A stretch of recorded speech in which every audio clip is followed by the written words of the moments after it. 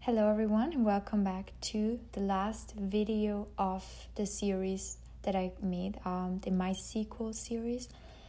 Today, I'm going to show you the coolest thing, in my opinion, and that is how to join the tables that we created. Uh, as you can see here on the left, these are the tables that we created. If you did uh, participate, if not, that's okay. Um, I'm gonna just show you how to to join these tables with the inner join statement. I want to show you this table here. It's the student grades table and it has a lot of numbers in here, which might not make much sense to you because you don't know who is student number three or who is student number 10. So, what we do is we will make this table meaningful. Okay, I'm gonna go back to the SQL query and I already wrote the statement, and I'm gonna explain you now how to uh, make sure that you select the correct um, items. So the select statement, as you can see here, is basically um, the one you need to find out first what should your table look like. So what do we want to know? We want to know which who is student number one? What's their first name and the last name? We want to know what the grade id means and we want to know the subject id so once you have or the subject name sorry. So what we do is we go we look at which tables contain these information. So once we know for example the first name is contained in the students table. Let me close this one here. So the student's name is contained here in the students table, first and last name. So now what we write is students dot first name because that is where the information is located and the students dot last name.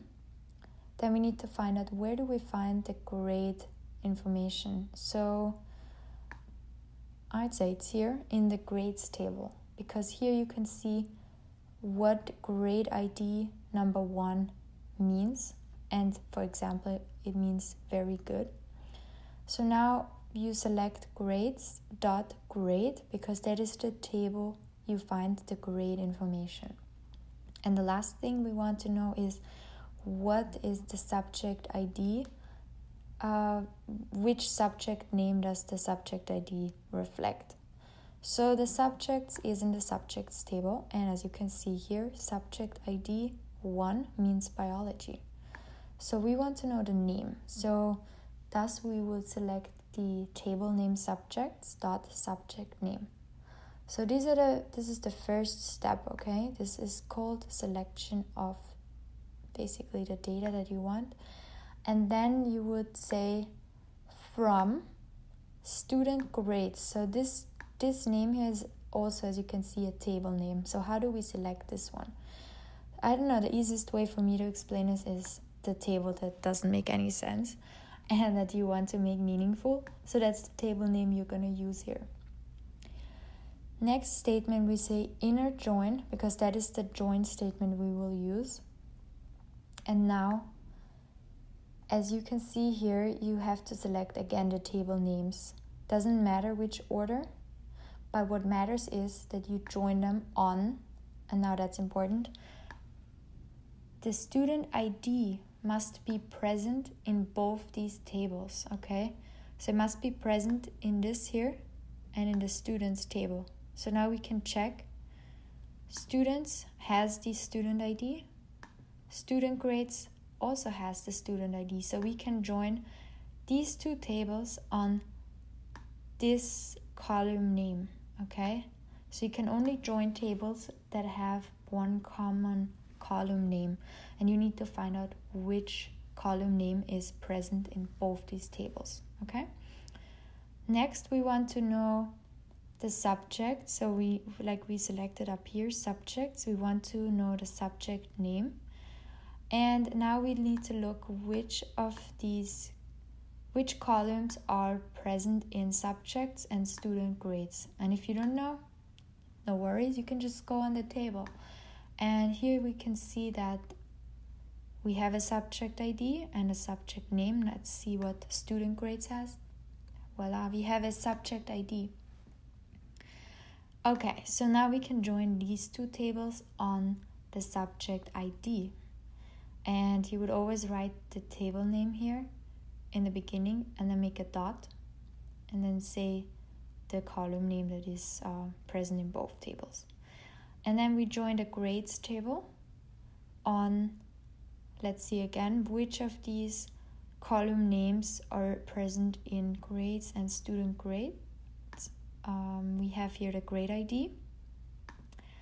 And we also have the grade ID under grades. Okay, so now this is how we select um, the column names accordingly. And once you're done, as, as you can see here, I made a uh, an open parenthesis and a closed parenthesis and a semicolon at the end of the statement. Now, if we run this command, you will see what happens. As you can see now, uh, we know, uh, for example, student number one. Her name is Diane, a meter, and she received a good grade in chemistry. Okay, so this is how you join these tables.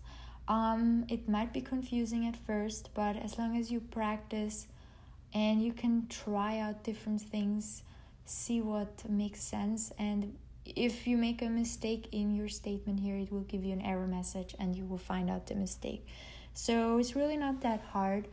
Um, I hope you you enjoyed this video and you could learn something. My next video will be again on Python and using the Jupyter Notebook. And we're gonna do another great tutorial on data analytics, a real life example, and I hope you can tune in for that.